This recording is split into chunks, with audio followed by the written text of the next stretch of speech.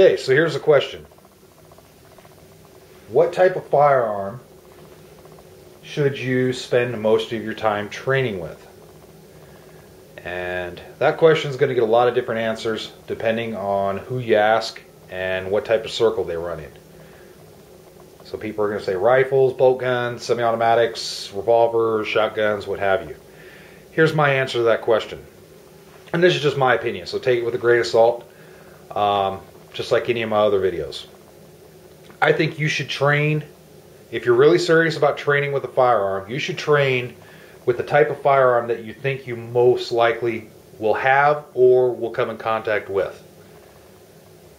For example, if you're a guy or a gal that likes to spend a lot of time hiking in the woods, and you find that most of the time you're carrying a revolver with you as a trail gun, then you should probably spend most of your time, in my opinion, practicing with that revolver. Getting to know the limitations of it, the strengths, the weaknesses, all that good stuff. If you're a military type and you think you're going to be vacationing a lot in sunny Afghanistan, then sure, it might behoove you to train a lot with an AR-15 if you can, or maybe with a Kalashnikov pattern rifle. That makes sense. Uh, or for somebody like me, in my situation, a few months ago, I was still military. I'm no longer military. So a few months ago, it uh, would make sense for me to train more with a rifle like this that you see right here on the floor. Especially the AR-15 pattern, but that's not the case anymore my life situation changed, and this guy right here makes more sense. So, if you're really serious about training, think about what you're doing.